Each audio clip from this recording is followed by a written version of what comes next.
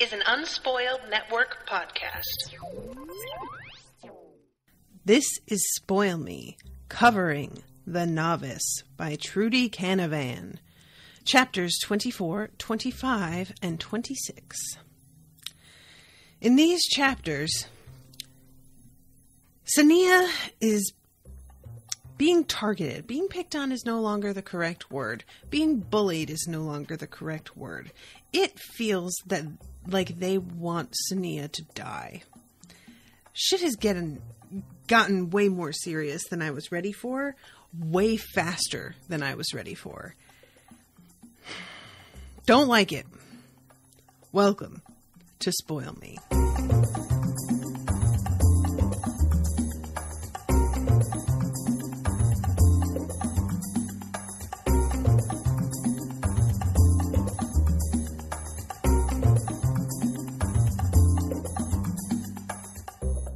Thank you, everybody, for being here. My name is Natasha, and this episode is brought to you by Patricia. Uh, Patricia has commissioned pretty much this whole book, so thank you to Patricia for that. Um, or no, shit, I'm sorry. This book was commissioned by Ashley. I'm thinking about Dark Lord of Derkholm, which I'm recording right after this. Forgive me, Ashley. Um, Ashley has commissioned almost both books, like the entire series practically. I think there have been about two episodes, maybe three, that other people stepped in for. Um, so many thanks to Ashley for being like so committed and generous to covering this so that I'm able to go through it and finish it because that's really um, the nice thing when it's not even as much about the money as you would expect. It's about me being able to follow the story more easily because there's not as much downtime between reading. Um, and it can really be surprising how much you forget if you leave something too long. So, yeah, I want to just like throw a shout out to her and thank her for that. Um, so, these chapters were really surprising in that I guess I expected um uh, I'm not even sure what I expected. I think because everything went so badly left with Akkarin finding out that Sonea and Rothen and Lorlen all knew about him, and because of the torment that she's been enduring being removed from Rothen's care and being forced to live with Akkarin, I guess I was hoping that the payoff that we saw where Akkarin is frightening enough to everyone and intimidating enough to everyone that Sonea is pretty much left alone would hold. I just wanted there to be something to even out the misery that she's experiencing. She's got, you know, someone who's base she's basically being held hostage, but having to behave as if that's not what's happening and act all the time. And um when it seemed as if everybody was just going to leave her alone, I was like, well, you know, this obviously still sucks, but it's kind of nice that there's this side effect. And now that's not even a plus anymore. And I'm just like really saddened and surprised at how bummed I am about it because I don't think I was even consciously realizing that payoff like meant everything to me. Um, because in truth, when it comes right down to it, I don't believe in my heart of hearts that Akkarin is evil. And because I don't believe Akkarin is evil, I have like as I recognize that Sonea's perspective is very different and that she's experiencing very real fear and anxiety despite me not necessarily agreeing with her assessment of everything that's going on. It's very real for Sonea.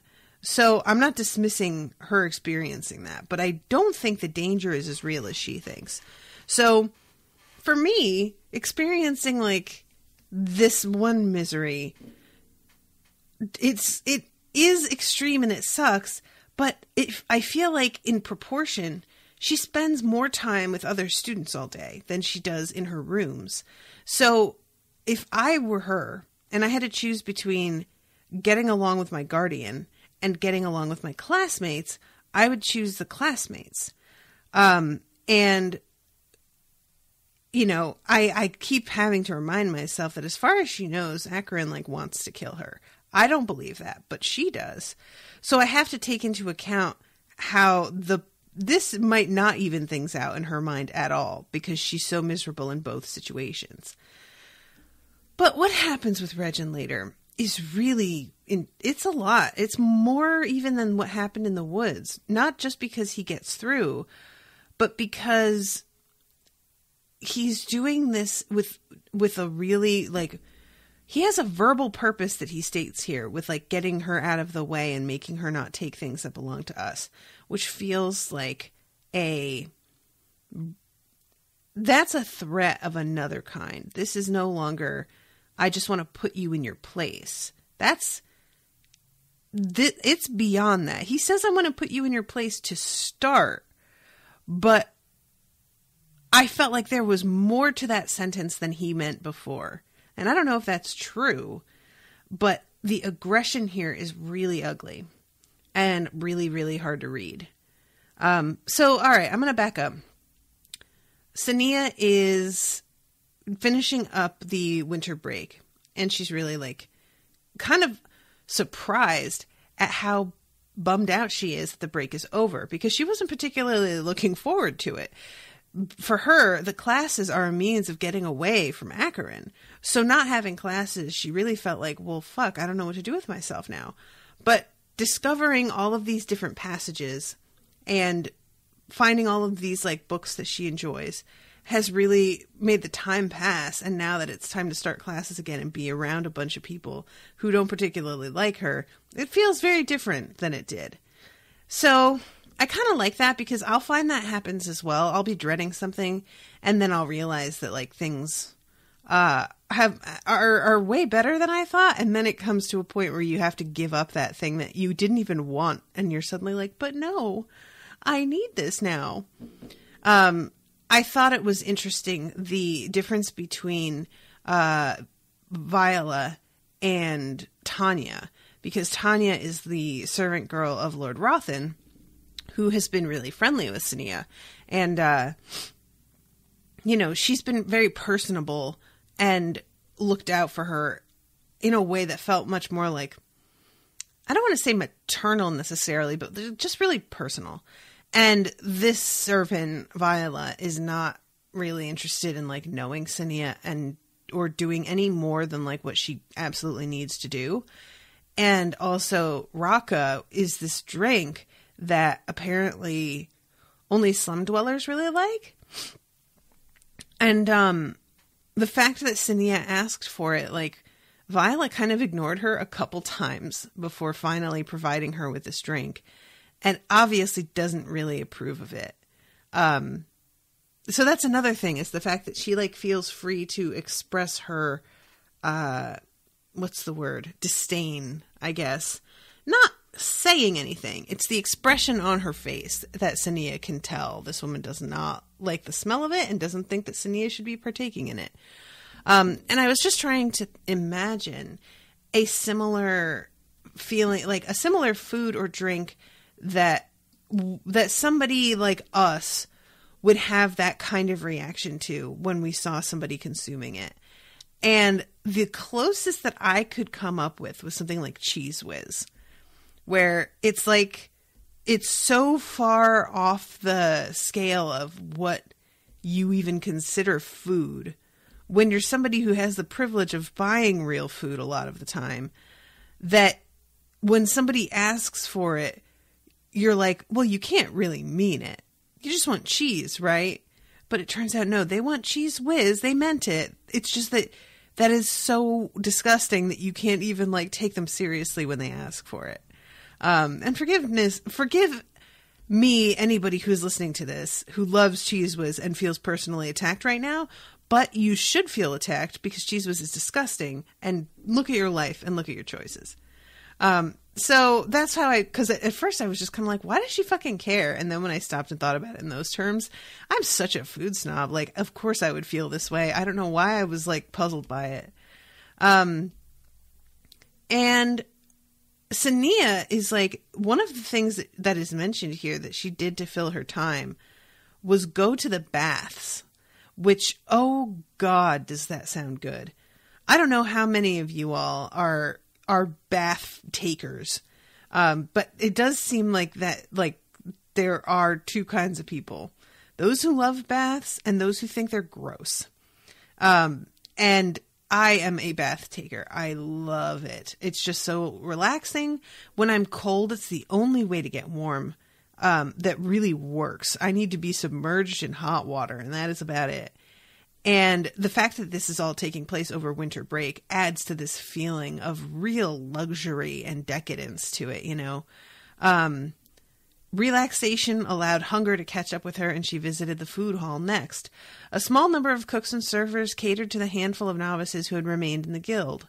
Bored and eager to cultivate opportunities for future positions serving the houses, they encouraged these novices to request favorite meals. Though Sonea had no high connections, the younger cooks indulged her as well, no doubt because of the incal on her sleeve. So that's pretty fun, you know. Once once this is all being described, I'm like, this sounds like fucking paradise. Like this is Canyon Ranch, you know. She's fucking chilling in the hot springs in the morning, and then she's going and having a a luxurious custom made meal cooked for her. And then she checks out the university and does all of her exploring and making of her maps.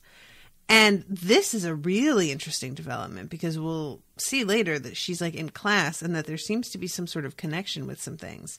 So we will talk about that in a bit. Um but yeah, and and I love too the detail about how like when the break began, she was doing that thing where you like put off going home because you don't want to see the person at home. So she kept coming later and later home and hoping that if she left it late enough that Akkarin would be asleep and not bother her by the time she got back.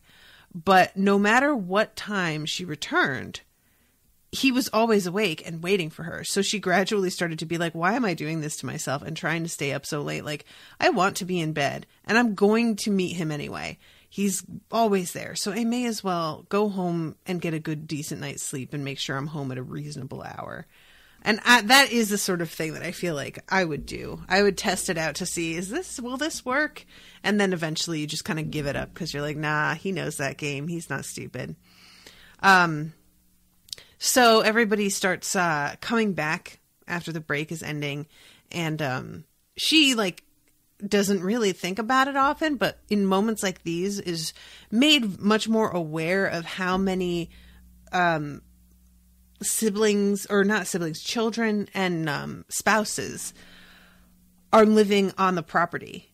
Um, which is something that I also forget because she's just thinking to herself how, like, when classes are going, it's just novices everywhere. I don't even notice these other people. But when all of the novices are away on vacation and then people's like whole families start to come back from break, it's really startling, you know, how much of a family atmosphere there is for a while. So things change after this because there is a winter um basically what what counts as like a, a winter semester where all of these people who start in the summer feel like the more traditional students, but there are some that for some reason aren't able to begin their study in the winter. And these students change the dynamic of everything. Um, and this is a really like we haven't gotten any details on this really beyond knowing that Regin had some new sidekicks. We haven't met any of them or heard their names or had any description of who they are. Um, so I'm really curious if any of these new winter term students are going to be significant in any way or if we just needed to mix things up a little bit and throwing some new people into the mix who are not as cowed as the other students who used to support Regin and have sort of seemed to fall back um, was necessary to keep the bullying going. But anyway, and I, t- I mean that from a writing perspective, you know, that we maybe want to add some new blood into this. Um, so, yeah, then she, as she's walking, she's hearing them talking about her. That's her. Who? The slum girl. So it's true? Yes, Mother says it isn't right. She says there are plenty of novices as strong as her, ones that don't have a bad history. My father says it's an insult to the houses, and even the administrator didn't. The rest was lost as Sonea turned into the corridor on the second floor. Pausing, she examined the novices in the corridor ahead, then began to walk. Unlike the first time she had appeared as Akkarin's novice, they did not stare at her. Instead, they looked once, scowled, then turned away. Eyebrows rose and meaningful looks were exchanged. This is not good, she thought. So she goes into class, and this teacher actually seems to like her, Lord Larkin. Um, and that is a pleasant surprise because she's sort of, I think, gotten used to the teachers taking their cues from the students in terms of how to teach her. And, you know, that's a pretty fucked up system, but it is sort of, I think a lot of teachers are tempted to believe that students know each other better than they will ever know the students. So if you want to treat someone the way that they should be treated, you look at their peers and it's a, like a, wrong. It's an incredibly flawed idea, but I do understand the impulse to believe that there are certain people who are going to have like an insight on a person that will be able to shorthand for you what would normally take half a year to discover. Um, and it's a shame, you know. I don't think all teachers are like that, but I can certainly see falling into that trap. But this teacher doesn't do that. They seem to actually like be interested in what she has to say. And also, he doesn't make her like come and sit at the front of the class. Um but yeah, he tells her the High Lord asked me to tell you he wishes to see you after the next class. You are to return to his residence. Which, of course, she's just kind of like assuming the worst. And it turns out, as we find out later, that Akkarin just wants to have dinner with her. But I am really not sure what that's about. If if it's like he wants to be near her so that he can um read her mind in that surface way that he was doing with Lorlen where he didn't know what Lorlen knew, but he knew that Lorlen was hiding something and aware of something. And maybe it makes it easier for him to like sift through people's heads if they're sitting right near him. And you know they're not having that much conversation. Like we saw that scene. So it wouldn't be too hard for him to focus on doing that while she's very relaxed enjoying this amazing meal. So that's the only suspicion that i have is that these like dinners are meant to sort of give him an opportunity to collect information and and make use of her um, without her even really being aware of it. But I might be totally off here. So then this class is really interesting because Larkin is teaching them about the architecture of the guild.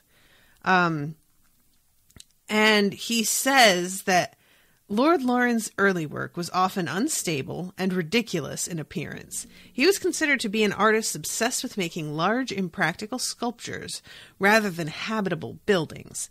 But his discovery of the methods of shaping and strengthening stone with magic changed more than architecture. He began to make buildings that people wanted to live in. Uh, the university is one of his finest works. By the time Lord Loren was requested to design and construct the new guild buildings, he was famous throughout the world for his work. The guild still felt it necessary to stipulate in their guidelines that he wasn't to use spirals in the design, something he was known to do in excess. However, the use of spirals can be found in the glass ceiling above the guild hall and the staircases of the entrance hall, from the diaries and records kept by other magicians of that era, we know Lord Loren was a devious character at the best of times. Over a hundred years later, a magician named Lord Rendo wrote a book detailing the architect's career. I have included with the plan a few ex- excerpts from this biography and a chronology of his life and works. Read them now. After class, you may want to look around the grounds at the buildings he designed. You will, as I did, see much that you had not noticed before. I will expect an essay on his work three weeks from now. So Sonea, like the, he, they're all given these maps, and Sonea has been busy building her own map from her explorations, and decides to like compare them to each other. Um, I'm trying to find the spot here. Okay, here it is. Um, The four towers at the corners and the huge room at the center were clearly drawn, as was the design of the glass ceiling, but the rooms and passages on either side of the main corridor were unmarked.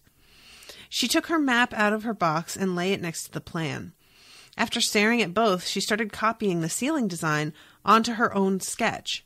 As she suspected, the lines that marked the spirals in the glass met those showing the passages.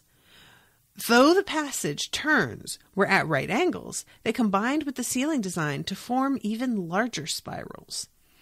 So that's pretty interesting. Um, I'm always a fan of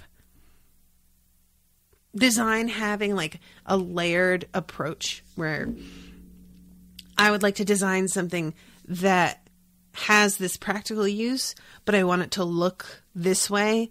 And something like a building, there are so many more opportunities to include the the like additional layers of significance to what you're putting together. So the fact that there are these other designs that tie in and create, you know, it's I just think that's a really neat idea. I don't know what that's going to signify, if anything. If that's if like, you know, spirals are like really significant in a lot of cultures as a symbol of life and like the cycle of life, the cycle of uh, reproduction, the sort of eternity of, of time and space. Like spirals have big meaning in a lot of places. And I'm wondering if there's not something about the way that spirals work that he included them in his design of this school because it helps with like the distribution of magical energies or something like that. I'm just spitballing here, you know. Uh, so her teacher comes by and sees her doing this and is like, "What, girl? What the fuck is that?" And she explains that she has been going and checking out the buildings while she's been on break, and um, he tells her because she had been so sure that she was kind of going out of bounds and into like restricted areas. He tells her the only places in the university that are forbidden to novices are the guild hall and the administrator's office. Um, in the past, they were locked, but as more space was needed, it was decided that the inner areas should be accessible to all. Sonea thought of the disapproving look she had received from the magician she encountered the first night of exploration. Perhaps he had merely been suspicious of a novice wandering about alone. Perhaps he simply distrusted the slum girl. Yeah, that's an interesting, you know, like, it didn't really even occur to me that aspect of it. But when you've got, you know, if it, when there's somebody who has been profiled by practically everybody as being a criminal and dis- like somebody that is has the potential for stealing as well. I'm sure that's circulating. Seeing her wandering around in different weird areas of the university probably would get their attention. Um so he tells her that he would like a copy of it and she's really relieved to be taken so seriously by him. Um and she's not really sure why if this guy is just like a better person, if there's something about him um, but she's looking at him and then she turns and looks over and Regin is staring at her. And she's just really struck by the hatred in his expression. And that is something like uh, it's a it's a really difficult thing to express on paper or in words. But when you have an encounter with somebody who looks at you in a certain way like that, it's just so upsetting because it fe- it like can cut you down to your quick. Even if it's somebody that you don't give a shit if they like you or not. Like you, you weren't invested in that. But the the, the actual like it's almost a tangible thing their hatred of you and there's no defending against that. And that i think is is the part that's so it's just kind of scary you know? Um because it feels like that energy can like reach out and touch you. So yeah she starts thinking about how everything that Regin has done, every success that he has had, has basically come on the heels of one of her successes. He has been trying as much as he can to one up her and pass her in terms of grades and probably in terms of like standing with teachers as well. And that was totally fine. Like it's not she's not so competitive or so prideful that she needs to be number one. But it was very obvious what was happening. And now they're in a position where he hates her because she's the High Lord's favorite. And there's absolutely nothing he can do to pass her on that. There's not two High Lords. There's not there's no possibility that the High Lord takes on more than one student. And probably, you know, I don't know how it's supposed to be four years of study or I don't remember how many years it is, but that's not like I don't think it's really that likely that once the High Lord takes on a novice that he like sets her aside and starts with somebody new while she's still studying. I think that's kind of like it might you might be able to set somebody aside, but I don't know. We haven't really heard uh, anything about that. So so yeah, this is just a really interesting moment where she's realizing that like Regin has always sort of been able to control his his superiority and now he is experiencing being kind of helpless in that regard. And that's what's kind of eating at him finally. Um, and then she sort of stops and wonders what Regin would have done if he were in her position. And at first thinks like oh he'd be so scared of Akkarin. And then really thinks about it and is like you know what? I don't think he would. I think he'd be kind of into the idea of black magic. And i think she's right I think that black magic is it, seems to be something that is basically like stealing power. And Regin is already getting bands of people together to feed off of their combined power. So that's not that far away, to be honest. It feels like I don't even know where he got the idea that that works. But I wonder if there isn't a tie in to the fact that he knows how to do this stuff and the fact that that serial killer who is wandering around is stealing people's energy. And I'm not saying that Regin is the serial killer. I don't really think that tracks. But maybe Lord Balkan is the one that has been teaching him. Um, and he is has been passing on to Regin how to you know, how to steal power without actually having to kill anybody um, or draw blood at all. So I'm, you know, I'm just spitballing here. I'm not really like super into this theory, but it's kind of stirring some things in my brain that get me asking questions. Um, so okay, we have Dannyl returning to the guild house and uh, meeting up with the other ambassador, Erend. Um, Ambassador Erend. I don't think I even realized that that's his name, but that's really hilarious. Um, and he's talking about how like the voyage has not been super fun. They got in, they got caught in some storms, and then Dannyl goes to his rooms and uh, gets several messages that came for him while he was gone, and starts reading through them. So here comes the thing. The second guild ambassador to Elyne, Dannyl, a family Vorin, House Tellen. It has been brought to my attention recently that some people believe you have spent less time attending to your ambassadorial duties than you have to personal research. Personal research is in quotes. You have my gratitude for the time and effort you have given to my request. The work you have done has been invaluable. However, to prevent further questions arising, I must ask you to cease your research. Further reports will not be needed. Administrator Lorlen. So this could read any number of ways, but some people believe you have spent less time attending to your ambassadorial duties than you have to quote personal research. This could mean everybody's talking about you and Tayend. And obviously, you've been spending way more of your time hanging around and flirting with this guy that you like, and not enough doing the job that I sent you to do. Now, I don't like. Obviously, Lauren Lorlen is once he finds out the High Lord knows all about everything and has spies out there. Of course, Lauren's just going to want to pull the plug. Like that's only natural. What's the point, right? But including that specific sentence feels way less about like all right i think i need i've got what i need you're done now which would be an equally valid message um it I'm I can't help but feel like there's a bit of a manipulation there in trying to get Dannyl to do something specific in response to it, and I just can't figure out what it is. Um, so yeah, he's just kind of baffled at how abrupt this is, and also a little hurt by it as well because he's actually been having a pretty good time. He has this party that he's supposed to go to tonight, and you know, really, there's no reason to go now, you know, but he's still like he's a very social guy, and I think he's just interested in the concept of ancient magic for its own sake at this point.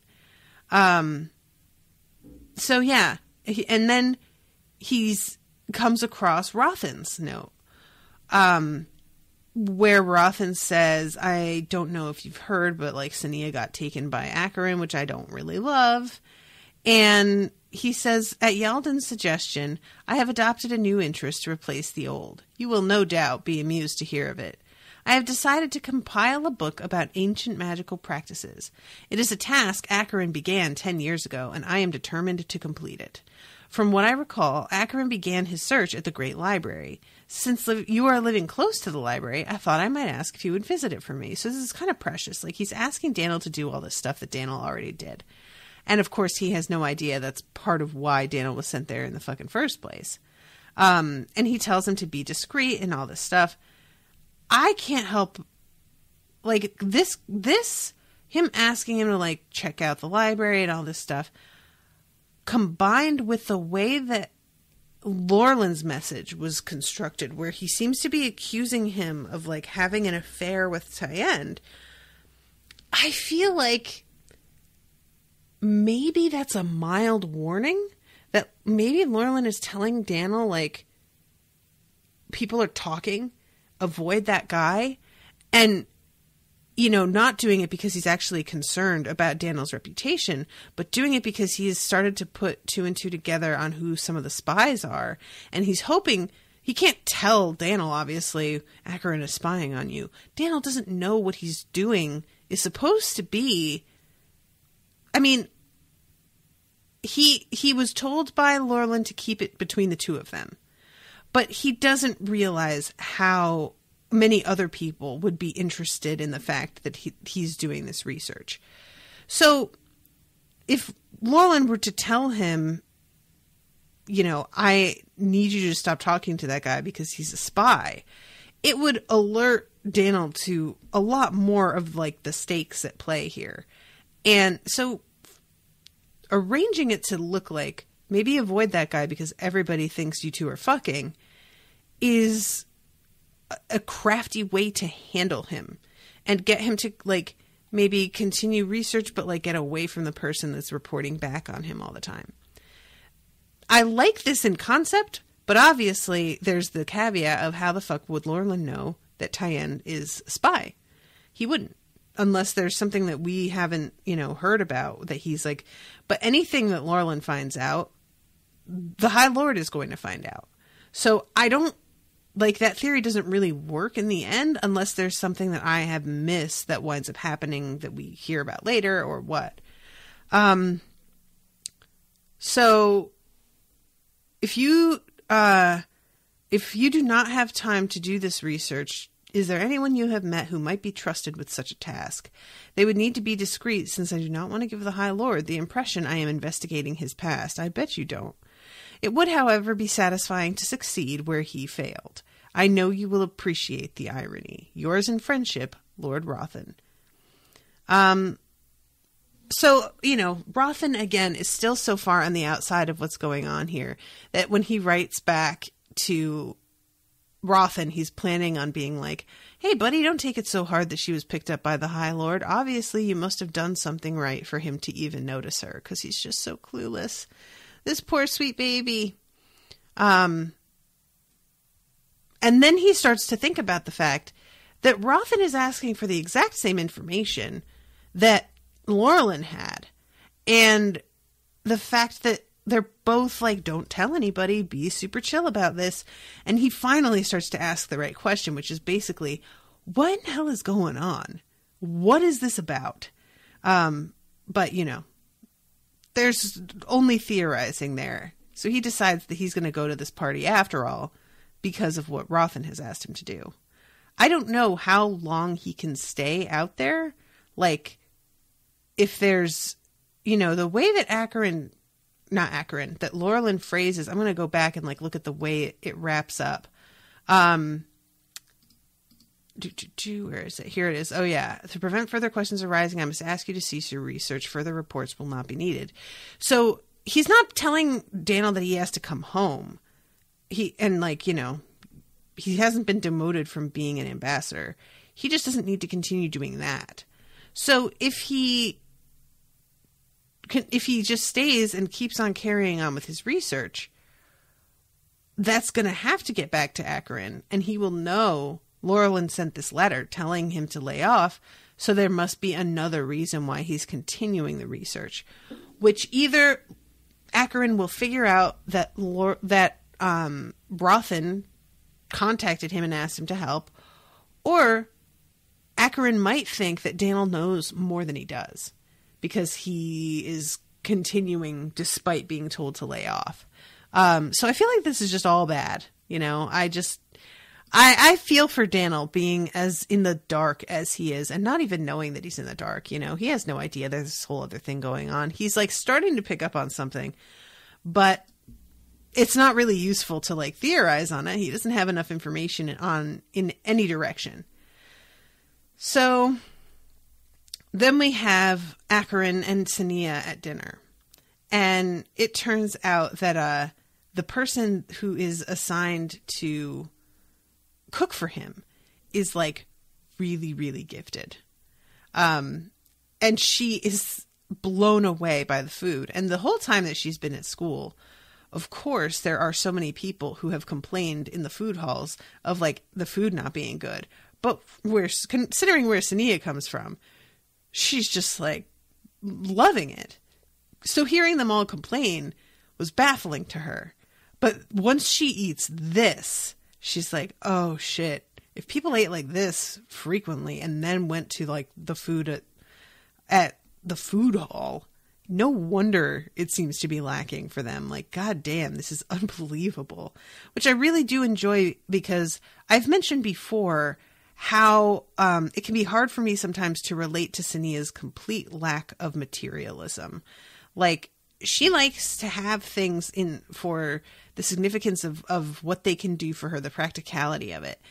And just in, like enjoying something because it's beautiful or you know even even something like taking the baths she's only just starting to really relax and like enjoy this is just not a common thing for her to let herself have a good time with something that is not um that is more of a luxury you know so it was sort of nice to see this scene where like she f- lets her guard down a little bit despite being sitting with the person who is the most likely to do her harm, I think, out of maybe actually second most, Regin's number one. Um, that she's still able to be like, Jesus, this is amazing. So yeah. And they start talking about her studies. And he asks her how her classes in warrior skills are going. And she says that, you know, she's just kind of not really into it. And he sort of criticizes Rothen here and is like, you should have gotten extra training when it showed that you weren't particularly strong in this part of your education. And she actually sort of like argues with him about this a little bit and is like, I don't see why I need to worry about warrior skills. We are not at war. This isn't necessary. And Akkarin's like, girl, come on. You know that letting all of your skills go rusty in times of peace just makes you more of a target in times of war. You are going to lose, like, the guild will lose its power and its ability to cope with situations if we just fucking sit on our asses during our during peacetime um and she tries to argue then that like well maybe that's true and we should keep everybody prepared. But like or we should keep warriors prepared, but not every magician needs to be a warrior. And this was really interesting. Um because when she says we don't need every magician to do it, he says, "Don't we?" And she just sort of sits silent and then he says, Perhaps Rothen neglected that part of your training because you are a woman. She shrugged. Perhaps. Perhaps he was right. In the last five years, the few young women who considered becoming warriors were persuaded otherwise. Do you think that is fair? And as they're talking about this, this is when dinner comes in. So this isn't something that gets dwelled on for very long, but I really wish that there was a an answer. I wish that Sonea was forced to give him an answer because I feel like I the Akkarin is pushing her in a certain direction, and I'm very very curious to see how that plays out and if I'm even right about that. Um, so yeah, the the food arrives, and she's thinking to herself that it might even be worth having to suffer his company for food like this when he then cuts into her uh her I was going to say cuts into her thoughts but in this book that that's a lot more literally possible than it is in anything else. But he just talks and sort of interrupts her train of thought um, and says I want you to dine here with me every Friday night. But I have evening classes. Takan is aware of the time allowed for your evening meal. You will not miss your lessons. She looked down at the empty bowl. But you will miss your class tonight if I keep you any longer. You are dismissed, Sonea. And she stands up and her fucking head is spinning. And she's gotten a little too drunk having wine at dinner. And also, the dessert was like fruit that had been soaked in alcohol with something else. And she basically has gotten herself a tiny bit drunk. Um, so, Sonea is um, heading to, let's see, where, oh, yeah, here it is she is walking to her next class and she winds up like running straight into Rothen. And this is when we find out that he's like their number one chemistry teacher and that it would look really suspicious if Akkarin removed her from one of the top teachers' classes. So they're very confident that they're at least going to have a class together. But we find out later that Akkarin is already trying to throw a wrench in that. So I'm just a little sad for her preemptively because I know that this thing she's excited about is probably not going to happen. Um, and she's so emotional at seeing Rothen and thinking about everything that like has changed so quickly and how much she misses him that when she start when she like rounds the corner to go to her classroom and she's running late she sees Akkarin standing in the doorway to the classroom talking to one of the teachers and she hides and unfortunately, the person who c- catches her hiding is Regin, who immediately clocks that she is afraid of Akkarin and decides correctly that he can come after her and she's not going to say shit to the guy because she doesn't want to involve him. And I, this kills me because I do not understand, not for a moment, why she doesn't tell Akkarin about what Regin is doing to her. Is it because she just doesn't want to owe Akkarin anything? Is it because she thinks that Akkarin's gonna like mete out too harsh a punishment because now she thinks the guy's like into black magic or n- knows it? Um, is it that she like just doesn't like to be a snitch. I don't really even get that sense. Like I just am really not completely sure what's keeping her from telling. She doesn't want him involved, I I guess is like the easiest way to say it. Because she doesn't want him involved in her life. So, okay, but like these people come after her so hard later that I feel that keeping her mouth shut could literally get her killed. And it's really frustrating to me that I'm not getting a good enough answer. Um, so then we have Lorlen talking to Akkarin, and they have a little bit of a meeting where Lorlen mentions how um, how Geralt wants uh, Regin to resume lessons with Balkan, and Akkarin's like, "Well, maybe you should let him because he's so angry and resentful of Sonea." And it's got to be even worse now that she's my um, protege, I guess. That he is going to do something drastic if we don't give him like an outlet, which is so annoying. Like, okay, is that is that psychologically probably true? I'm tempted to think it is. But what pisses me off about it is just that whole culture of boys not having to suffer consequences for things. And even when they're told that they do have to suffer the consequences, it's going to be like a lighter consequence than they were promised and a lot lighter frequently. So I just I feel like they're setting a really bad precedent here where they are letting him know that nobody takes it that seriously that she got hurt or that he tried to hurt her. And not only are they like allowing him to resume a class that he was taken away for punishment, but that class is an attack class. So they're arming him more effectively. And this just kills me and I hate it. And I'm really mad about it. And the fact that Sonea keeps her mouth shut exacerbates this because she doesn't know I don't think that he's been allowed to resume classes. So her not saying anything is going to let him continue to get stronger as well. Everything is conspiring to give Regin all of these opportunities that he doesn't deserve. And it's just really infuriating to watch. Um, and also, Akkarin says that they need to rearrange her schedule so that Rothen is not one of her teachers. Um, so Sonea had a bad day.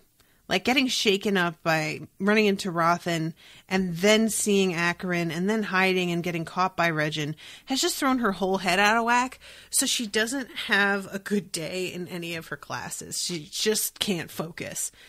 And her warrior class goes especially badly.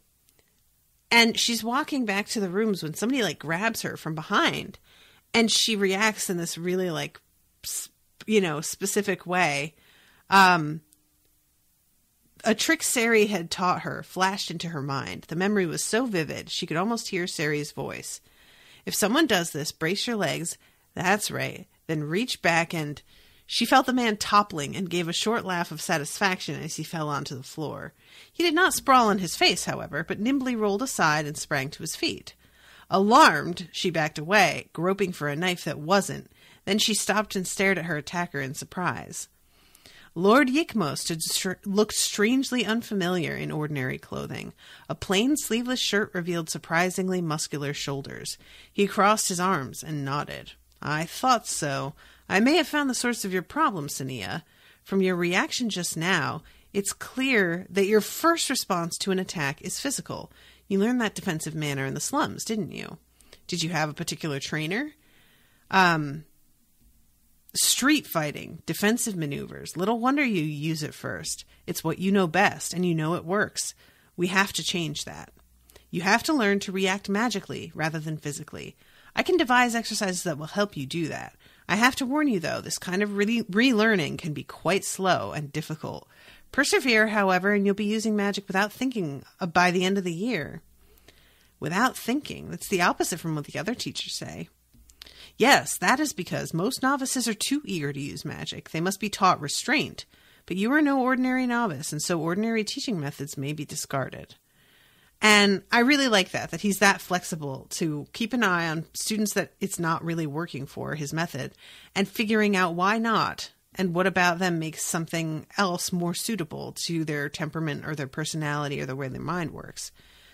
So then he says, I do want to talk to you, though, about the fact that you went for a knife. Now, you didn't have one, but your instinct was that you wanted to really hurt me, maybe kill me. And she's like, Well, yes, like you were trying to kill me, it felt like. And he says, Few would condemn an ordinary man or woman if he or she killed another in self defense. But if a magician kills a non magician, it is an outrage. You have the power to defend yourself, so there is no excuse for killing no matter what your attacker's intent, not even if the attacker is a magician.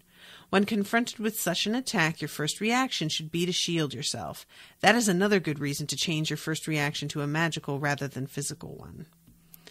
Um, You're not doing as badly as you think, Sonea. If you'd struck out at me with magic or simply froze or screamed, I would have been disappointed. Instead, you kept calm, thought quickly, and succeeded in throwing me off. I think that's an impressive start. Good night. So, yeah, I liked that that whole interaction. Like he's just he's really trying to understand who she is. And that's so important, you know. And also trying to build her confidence up.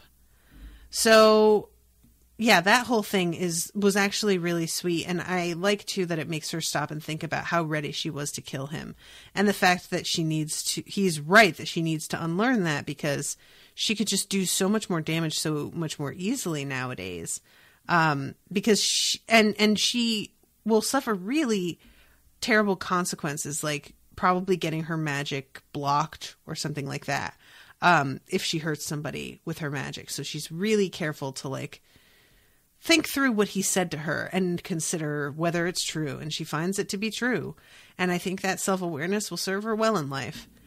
Um, so, all right, chapter 26 is when we have Dannyl going to this uh, this huge ball, and he's going with Ambassador Errend, and they are waiting in this enormous line of carriages to get inside. Which it turns out there are three or four hundred people that are coming to this event. So the line of carriages goes like all the way down the street because getting out to walk when uh, he says something about how we could walk faster than this, Aaron says, Yes, we could try, but we would not get far. Someone would call us over and insist we travel with them, and it would be impolite to refuse. So they decide to stay put so that they don't have to deal with other people, which I can relate to. And there are all of these like buskers um, who gather around this huge long line because, I mean, it's people who are trapped, bored, and have money. It's really an ideal scenario to sell shit. So they are buying candy and like discussing things with each other. It turns out that in this area of Elyne, children are really indulged and they they're going to be children at this party. They're allowed to come, which is something that Dannyl isn't really used to. Um, so I really enjoy these like little little bits of acknowledgement on how small things, small differences from culture to culture can still feel really strange if you take for granted that the way you do something is the way everyone does something. Something as simple as having a party and it's always going to be all adults. And then you go somewhere where they allow kids. Like, that's going to feel really weird. And it's not that big a deal, really, like in the end. But it's enough that you're kind of like, this is so, I can't get used to this, you know? And I think it's often small things like that that we're less prepared for. If we go traveling somewhere we've never been, we're ready for a lot of like large cultural differences and, and that sort of shock that goes along with that. But it can be the very small things that you assumed would be the same that really kind of trip you up. Um, so I just, I kind of like that detail. Um, so this is when he winds up getting in the conversation of the woman who's um, hosting the party. Uh, her name is Bells. Um, what what is her last name? I'm trying. To. Bell Bell Belle Arrelade exclaimed that her feet were already tired and drew Dannyl aside to a bench seat uh, set within an alcove of the wall. So she just blurts out like, "Oh, he, I hear you've been researching ancient magic," which, like, okay, I guess people just know that. Um, and Dannyl's a little taken aback by this too. And then she starts talking to him about Tayend. And it's like women have found him a little bit disinterested. I was shocked. I thought that Dannyl was just handling what's obviously a very carefully worded question about whether or not he knows Tayend is gay. And he answers her questions, and I was kind of giving him all this credit for like, you're handling this really well. But then later, when he talks to Tayend about the conversation, Tayend's like, oh, yeah, I think she was feeling you out to tell if you knew. And Dannyl's like, oh, really? I'm like, dude, fucking obviously. What are you talking about? That's so clearly what she was doing. What? How are you this stupid? Dannyl, come on, buddy, keep up. You're not an idiot. You have to know that. Um, so, you know, probably the fact that he doesn't know that that's like what she's doing at the time lends his innocence an air of sincerity that will probably serve him well in the end. Like it will turn out to be good for him that he was able to convince her so completely. But it really does shock me that he couldn't hear the subtext behind what she was saying and asking him. Um, so Tayend comes up to him after this and introduces him to Valend of Gennard. This dude is not nice um, he doesn't really like take to Dannyl. The second that he sees him, he like there's a sort of vibe that Daniel gets when he looks down at him. The way that he like stiffens and stares at him just makes him feel like there's something about this dude that is uh hostile. And then in this scene when they meet like face to face, he's still like just really stiff and weird with him and he winds up going away and like um when they begin discussing books. And he says something about how his own his own interests are swordplay and weaponry. And Dannyl sort of thinks to himself like is that why i don't like this guy? Does he like somehow like subconsciously remind me of Fergun whom i hate? But i don't think that's it. Or at least it's not most of it i don't think but i can't get a handle on it i want this guy to like be revealed to be the spy so that Tayend is not the spy because I don't I like Tayend. I don't want him cut out of this. But this dude hasn't really been around that much that we know of, so him being the spy doesn't seem that likely. Um so Dannyl had like when he talked to Belle, she told him about how Akkarin came and um was so interesting and so attractive that she was kind of like enraptured with him. And then when he left, he went to the mountains. And that's the first time Dannyl's heard Akkarin ever went to the mountains. So when him and Tayend start talking about the uh, um, diaries and, and like visitor books that are in the library, and some of them talk about what's going on with Akkarin. And he says, I won't go into detail now, but they indicate that we may find more information in some of the other private libraries. I'm not sure uh, sure who or where. Do any of them live in the mountains? Dannyl asked. Tayend's eyes widened. A few. Why do you ask? Um. So yeah, he uh, uh, they they wind up like cutting off this conversation because what's his face comes back, um, Valend, and Dannyl thinks about how the way Valend walks even seems like weirdly predatory, but yeah, the whole thing is just sending all kinds of alarm bells off. So I'm curious about him. Um, so then we have Sonea, and this is the final scene of this section where she's helping out in the library, and Lady Tya actually really likes her and appreciates her help. And she likes helping out in the library because, uh, on top of the fact that I think it just suits her personality to like be by herself and doing something pretty focused, she's learning where all of the books are located and, and what they are, and it's really helpful for her research and schoolwork. But she gets told that um she has to head out to uh, where is it? Um, a message arrived for you. The High Lord wants to see you in Lord Yikmo's training room.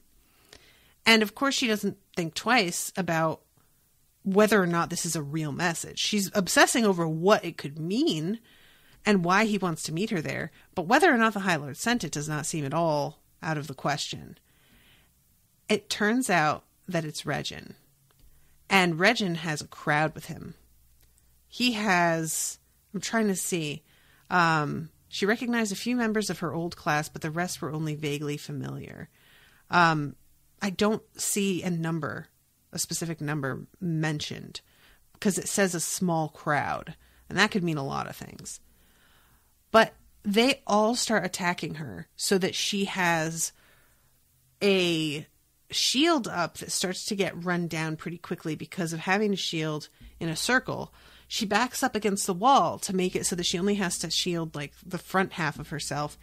But with them all hitting her repeatedly, it does eventually wear her down, which is a shame because I was hoping that whatever happened with in the woods was an indicator that she could like really hold her own for a long time. But uh, this seems to start to wear on her pretty quickly. Um and Regin is like go- goading them all into attacking her by saying like, uh, if you don't join, join us now, she'll get away, just like she's getting away with taking what's rightfully ours. Are you going to put her in her place or spend the rest of your lives bowing down to a slum girl? And when he, when everybody seems to be like sort of hesitant, he then says that he will take full responsibility if they're caught, but he knows they won't be because she's not going to say anything to Akkarin. So they all join in, and eventually, once her shield is down, he hits her with a sunstrike. And every like a lot of people are not thrilled with this. Um, hearing like I've always wondered what sunstrike did. She heard Regin say, like to try it. Hearing a sound of disgust, Sonea felt a momentary hope as two of the novices exchanged a look of dismay, then turned and walked away. But the others all wore eager expressions, and her hope faded as sunstrike after sunstrike sent pain coursing through her again. And I just like I, I had the same like, oh maybe everybody else nope, they're all super excited to do this and she just kind of has to curl up on the floor and deal with the pain and wait for them to like get tired of doing this and later on Lorlen finds her like struggling to walk home. She is so weakened that she can barely even like stand up. And he is able to piece together what happened. And she begs him not to say anything to Akkarin. But we know that Akkarin is able to see and hear everything that Lorlen sees. So Akkarin has to be aware of this, and I'm really curious what he's going to do, if anything. I'm really, really curious. Um, so yeah, we'll see. And I'm just really like disappointed and I don't mean like disappointed in the writing or just you know, but just the fact that it's turning out that she's still going to be picked on like this is just such a bummer. Um, so yeah, we'll see what happens next, but I'm just like kind of sad, and I am out of time also, so I'm going to wrap this up. Um, thank you again to Ashleigh for commissioning this, and I am really looking forward to the next episode because I'm just I really just want Akkarin to like do something really clever to stick it to Regin, and I don't know what that even looks like, but I don't know that he would do that. So we'll see if that even happens. Um, thank you guys again so much for listening, and I will see you soon with a new episode.